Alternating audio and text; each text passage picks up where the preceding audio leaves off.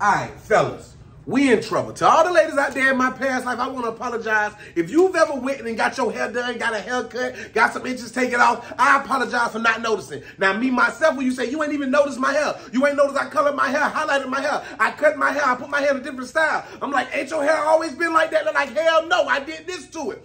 For a man, we got to start paying more attention. Women go through a lot going to a beauty salon, sitting that shit for hours on end, and depending on what type of woman you with, she gonna get highlights to her hair, she gonna get her hair layered, she gonna get her hair cut. A black woman with different texture hair, they gotta find somebody that understands their hair, that does their hair. They gotta get their hair cut differently. If they wanna get micro braids, regular braids, we gotta notice these things. We gotta be more attentive. I know as a man you thinking, but Josh, she goes and get three or four inches cut off her hair. That's why I got this measuring tape. To you, Two or three inches don't sound like a lot. This is four inches.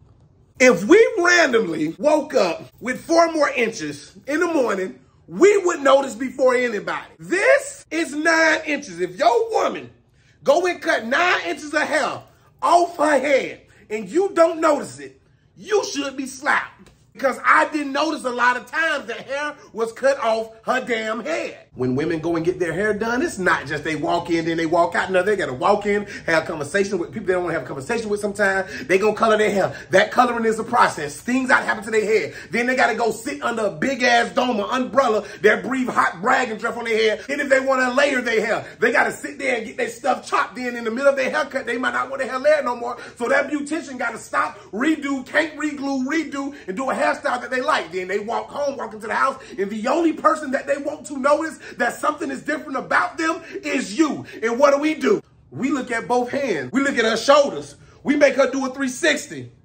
Ass still look the same. What you want me to notice different, baby? And you wonder why she throw a whole car at you like the Hulk. After doing my research and understanding that haircuts and highlights and getting your hair color takes hours, and after doing research and understanding that it's $150, $200, $300, it can reach up to 500 per hairstyle, I want to formally apologize to every woman out there that I've never noticed about your hair. I apologize.